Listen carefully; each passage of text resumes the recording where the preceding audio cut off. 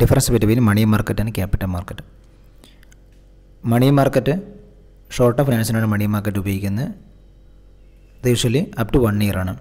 Capital market എന്ന് പറഞ്ഞാൽ provides long term long term finance money market പ്രധാനമായിട്ടും provides requirement of working ക്യാപിറ്റലാണ് capital market എന്ന് പറഞ്ഞാൽ provides for the requirement of fixed capital money മാർക്കറ്റിലെ പ്രധാനപ്പെട്ട ഇൻസ്ട്രുമെന്റ്സ് എന്ന് പറഞ്ഞാൽ ഒന്ന് ബിൽ ഓഫ് എക്സ്ചേഞ്ച് പിന്നീട് ട്രഷറി ബില്ല് കോൾ ലോൺസ് അതോടൊപ്പം തന്നെ bills short term government securities commercial paper certificate deposit തുടങ്ങിയവയൊക്കെയാണ്. Capital മാർക്കറ്റിനകത്ത് വരികയാണെങ്കിൽ അതിൽ എന്താണ് ഷെയേഴ്സ് ആയിരിക്കും ഡിബഞ്ചേഴ്സ് പിന്നീട് ബോണ്ട് പിന്നീട് ലോങ് ടേം സെക്യൂരിറ്റീസ് തുടങ്ങിയവയാണ്.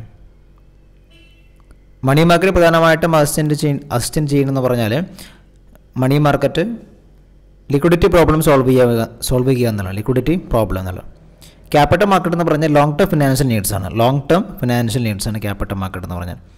മണി മാർക്കറ്റിലെ പ്രധാനപ്പെട്ട ഇൻസ്റ്റിറ്റ്യൂഷൻ എന്ന് പറഞ്ഞാൽ ഒന്ന് ഫോറിൻ ബാങ്ക് അതോടൊപ്പം തന്നെ ഫോറിൻ ബാങ്ക് പിന്നീട് ഡെവലപ്മെന്റ് ഫിനാൻസ് ഇൻസ്റ്റിറ്റ്യൂഷനുമായി ബന്ധപ്പെട്ടാണ്. ഡെവലപ്മെന്റ് ഫിനാൻസ് ഇൻസ്റ്റിറ്റ്യൂഷനൊക്കെ അതിൽ I D B A I C I C I F C തുടങ്ങിയവയ്ക്കും പിന്നീട് central bank commercial bank cooperative bank തുടങ്ങിയവയ്ക്കാണ് money മാർക്കറ്റിൽ വരെ ക്യാപിറ്റൽ മാർക്കറ്റിനകത്ത് വരുന്നത് ഇൻവെസ്റ്റ്മെന്റ് ബാങ്ക് ബാങ്ക് അതായത് ഐ ഡി ബി എ പിന്നീട് I I F C S F C I C I C I തുടങ്ങിയവയൊക്കെയാണ്